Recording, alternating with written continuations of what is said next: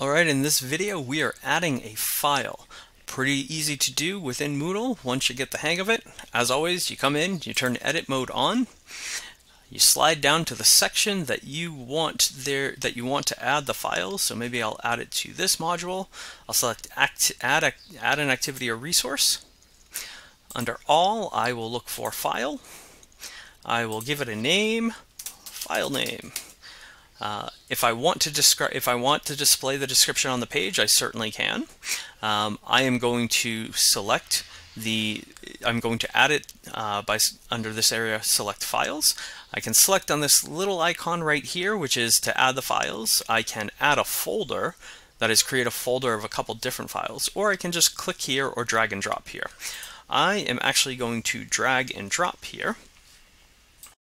So I'm just going to drag a photo and upload it there. So now that photo is there. Under appearance, it, it gives me a couple different options. I strongly encourage showing size, showing type. Um, that way students know what it is that they are downloading and how much they'll need to download. If you're uploading a large file, it's important for them to know that, or they need to, if they're downloading it, they, they need to know that. Uh, most of these, again, you can kind of ignore. Activity completion is the one where, again, I would recommend um, instead of students manually marking it, I would recommend show activity complete when conditions are met. Uh, and when, when are they met, they must view it.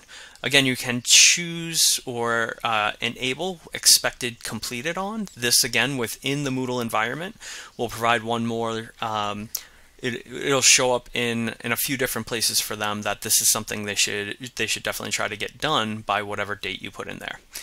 Once you're all set, you can hit save and close, save and return to course. Um, you can also do save and display.